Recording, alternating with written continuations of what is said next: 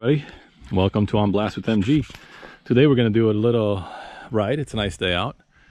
Uh, not too uh, not too warm, not too sunny, so just a perfect day to do a little mountain bike riding. I want to show you real quick. Um, this is uh, my setup, how I transport my mountain bike. In fact, I could actually transport up to two mountain bikes on this rack. The reason I want to show you guys this video is because it was pretty cheap. Everything out there is fairly expensive. Um, you know, you, are looking at two, three hundred bucks for something that's uh, reasonable quality.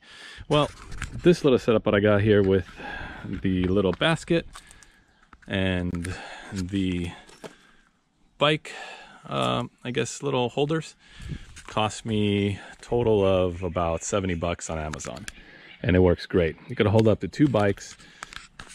Um, it comes uh, you know comes separate it comes separate separated.